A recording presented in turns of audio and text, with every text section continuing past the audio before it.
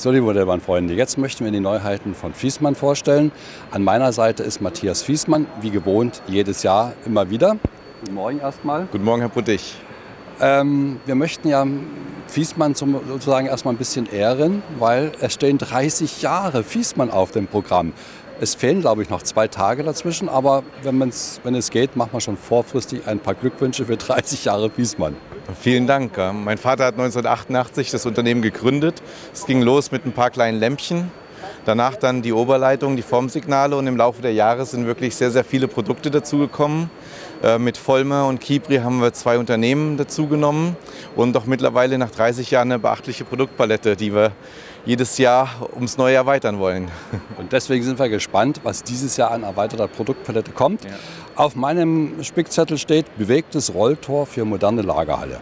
Ja, richtig. Wir haben im letzten Jahr die Logistikhalle äh, bei Kibri vorgestellt und ähm, es gab schon früher den, Kunsch, äh, den, Wunsch von Kunden, dass mal ein bisschen mehr Bewegung drin ist. Und wir stehen hier für Bewegung, für Dynamik und es ist dann so, dass unsere Idee, unser Anspruch der war, das Rolltor in Bewegung zu bringen. Ein Fahrzeug fährt rein, fährt raus, auch geeignet für das Faller-Car-System kann man damit dann super kombinieren.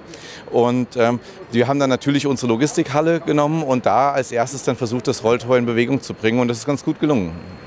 Nach getaner Arbeit, also wenn die Logistiker, wenn wir jetzt mal reden sollen, äh, müssen die auch was essen. Und da habt ihr wieder was ganz Besonderes. Vorher war es der Luther, der die, der die Thesen an die Tür nagelt. Jetzt ja. ist es ein Ochsengrill. Ja, richtig. Schon fast in Anlehnung an das Oktoberfest. Und äh, einen Ochsen zu grillen, ist eine, eine, große Aufgabe. Da werden auch sehr viele Menschen von satt. Und wir haben das untermalt mit einem bisschen flammenden Feuer. Das wird simuliert.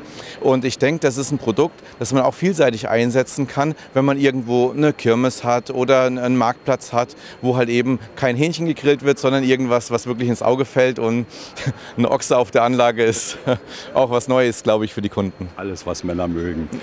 Aber jetzt kommen wir mal zu den Stammprodukten, also sagen wir mal zu den eigentlichen, was Fiesmann ja macht. Er baut ja auch Signale und den N und da gibt es da was Neues. Richtig. Wir sind gestern erst wieder ausgezeichnet worden, auch in Verbindung mit Rocco Fleischmann. Glückwunsch. Vielen Dank für unsere Formsignale. Und ähm, wir haben letztes Jahr bereits die Formsignale in H0 mit der neuen Antriebsgeneration vorgestellt. Und für die N-Bahner dieses Jahr selbstverständlich auch wegen dem geringen Bauraum für Leute, die einen Schattenbahnhof betreiben, sind diese Formsignale mit dem neuen Antrieb in Spur N jetzt erstmal für die einflügeligen und zweiflügeligen Signale erhältlich. Ich glaube, da werden sich die N-Bahner sehr freuen darüber, dass da auch wieder etwas Neues und vor allen Dingen etwas Filigraneres zu bekommen ja, ist. Ein sehr, sehr wartungsarmer und zuverlässiger Antrieb. Dann gibt es was Neues vom Robel. Nämlich was? Ja, wir haben letztes Jahr schon den Robel vorgestellt. Das war die Sensation mit dem bewegten Kran.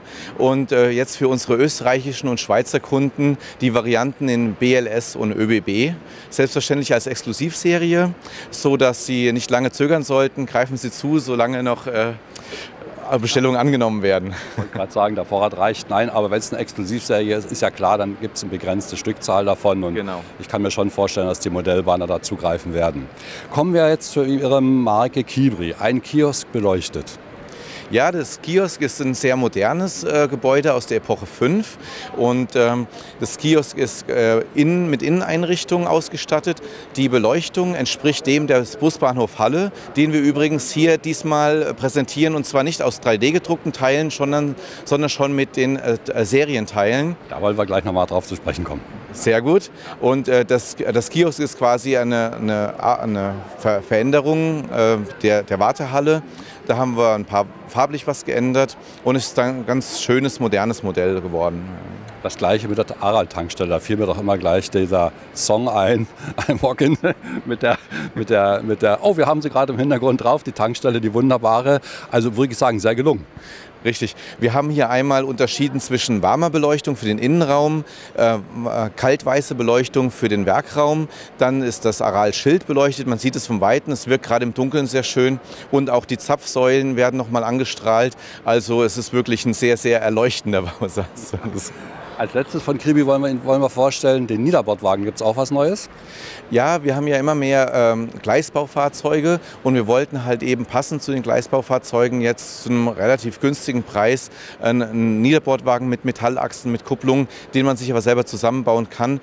Ähm, mit Rungen, wenn man ihn zusätzlich mit Rungen, kann man auch als Rungenwagen verwenden, in Gelb und in Braun als, als Bausatz für die Bahner, die halt eben noch was dran verändern möchten zum Beispiel.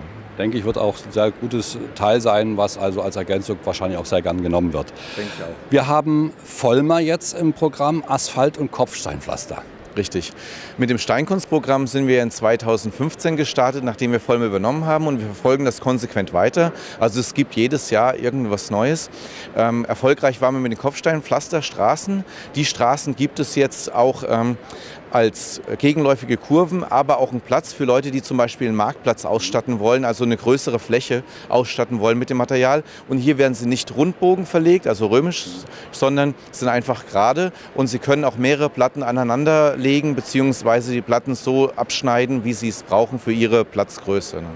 Also ich denke, ein sehr nützliches Zubehör. Dann habe ich was gelesen über eine Polygonalplatte. Was ist denn das? Ja, Polygonalplatte hört sich komplizierter an, wie es ist.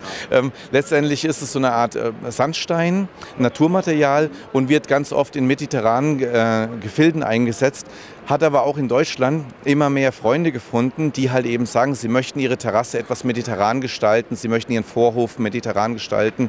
Und wir können auch hier mit der Vollmer Steinkunst die Fugen nachbilden. Das heißt, wir nutzen zwei verschiedene Farben, um diese Steinkunstplatte herzustellen. Und es ist halt eben was, was man auch von weitem äh, schon sieht und ins Auge fällt. Wie weit ist es denn überhaupt mit der Steinkunst? Ist das Produkt einigermaßen im Markt aufgegangen? Ja, äh, es ist ein ähm, ein Prozess, der über mehrere Jahre anhält. Wir, wie gesagt, verfolgen das konsequent, machen auch konsequent Werbung dafür. Und es ist das, was ich in den letzten Jahren schon gesagt habe, Sie müssen es einmal mal anfassen. Sie müssen es fühlen. Sie sehen, es hat nicht dieses äh, Trockene von Pappe, es hat nicht das äh, feste, steife von Plastik, sondern es ist wirklich was, was sich super gut verarbeiten lässt. Man kann damit die unterschiedlichsten Wölbungen und so weiter ausgleichen, Huppelstraßen, man kann es nachbearbeiten mit dem Heißluftföhn, sehr, sehr flexibles Material und es wirkt halt eben dadurch, dass es aus einem Sedimentverbundwerkstoff ist, wirklich sehr, sehr echt.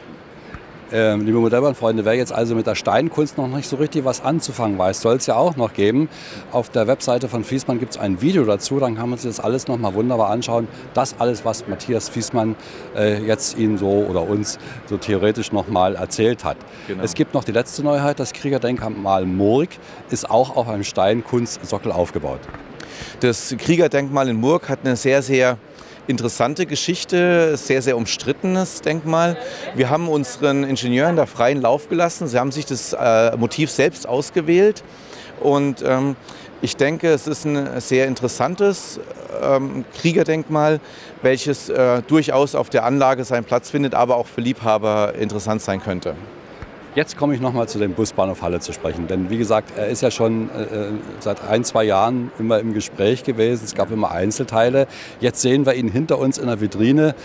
Was gibt es dazu Neues? Also wir sind jetzt beim Busbahnhof Halle in dem Stadium, dass man sagen kann, Vorserie. Wir äh, bauen gerade die Schablonen zur Fertigung. Es ist ein teilmontierter Bausatz, das heißt, es wird einige Teile geben, die wir dem Kunden nicht zumuten möchten, die wir vorab, vorab im Werk montieren werden. Und wir sind zuversichtlich, dass wir jetzt mit den Serienteilen die letzten Feinheiten noch äh, machen und es in 2018 wirklich zur Auslieferung von dem Busbahnhof kommt ist jetzt schon in der Vorserie, wenn man sich das anschaut, wirklich ein ganz imposantes Modell. Hier hinter uns in der Vitrine, liebe Zuschauer, Sie sehen es gerade. Lieber Matthias Wiesmann, das war es eigentlich schon, was wir uns ausgepickt haben. Es gibt ja. natürlich noch viel, viel mehr zu entdecken bei Fiesmann. Also Sie können auch auf die Seiten, auf die Webseiten von Fiesmann mal durchklicken. Da kann man sich die Neuheiten, die wir jetzt nicht vorgestellt haben, ebenfalls noch anschauen. Das war das Wichtigste. Vielen Dank, lieber Matthias Fiesmann. Vielen viel Dank Spaß noch auf der Messe. Und viel Spaß noch mit den anderen Firmen. Und wir sehen uns dann hoffentlich auch im nächsten Jahr wieder. Ja, auf jeden Fall. Danke. Tschüss. Tschüss.